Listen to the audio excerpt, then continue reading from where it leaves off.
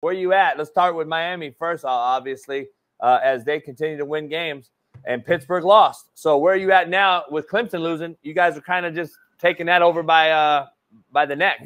Yeah, you know the Duke game. You know defensively they are what they are. They're very poor on the back end.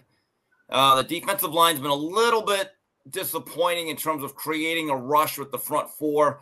But this is a very, very exciting, entertaining team from Miami. Uh, Cam Ward played a great second half. I thought he missed a few throws. And look, Cam is unbelievable. He might be the leader for the Heisman. I'm biased. He's my front runner. But, you know, coach, we were watching that game when, when he threw that cross field thing. The look on your face said it all. Why? Why? And these are the things like, look, if you really want the best out of Cam Ward, you don't focus in on the 30 passes he misses. You focus on everything he did wrong because that's coaching. You know, and I, the other play that really bothered me about that game, and again, I'm his biggest fan. I think he played great for the most part. But on that play, he had Damien Martinez right into the flat on third and six, move the chains. Right on the sideline. Shannon, yeah. Shannon Dawson said something yesterday at the press conference, our offensive coordinator. He said, I, I, I love the routine play. I like the routine. I think that was his way of telling Cam, Cam, you don't have to be Superman every play. Because I, I, I, enjoy the routine play. Patrick Mahomes, routine. At what, what point do you think it bites him? At what point, uh, like when they play a team that can keep the pressure on for six? One thing I know about this offense, it wears people down. And I will give Mario Cristobal a lot of credit. He's playing more tempo than ever. Now, we have not gone full Art Briles, 60 minutes of pace and space, but we are judiciously using no huddle, quick tempo. If you see, this is why Miami scores a lot in the second half. They wear teams down defensively. They do.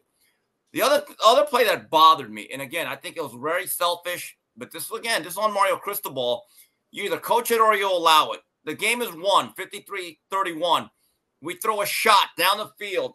Cam drops an absolute dime to Riley Williams. We're at the five yard line. You know what? Here's what you do Cam, come out. Go come out to a large applause. You're done. We're going to yeah. hand the ball off. We run an RPO, and he gets absolutely smoked. Now, yeah. before all you people say, well, he was no, no, no, no. Is it about Cam or the team? I, I don't care who Cam Ward is. I want the team to do well. And, and I would ask those people who disagree with me do you think an injury to Cam Ward would affect this team at all? He took the hardest shot the whole year on a game that was over.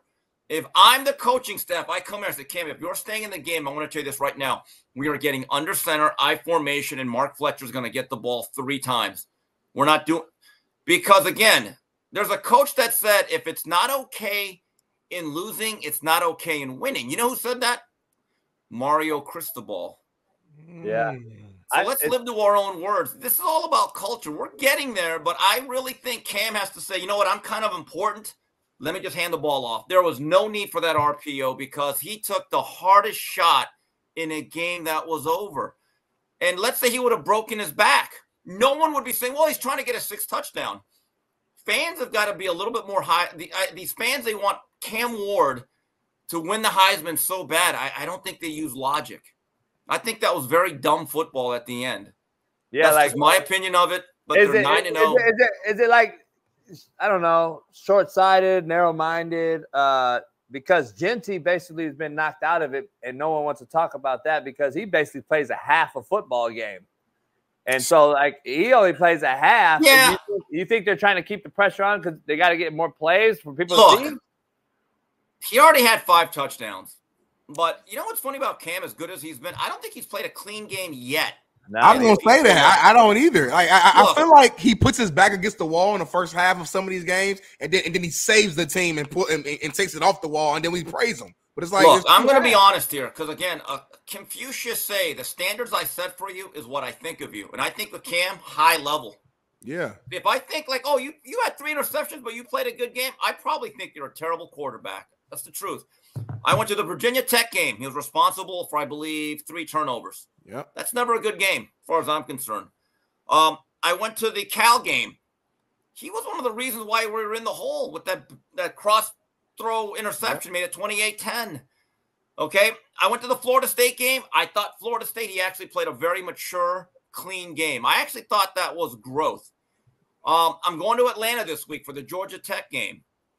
If Haynes Kings plays, I think that could actually be a pretty tough game. Haynes Kings, I, I like him.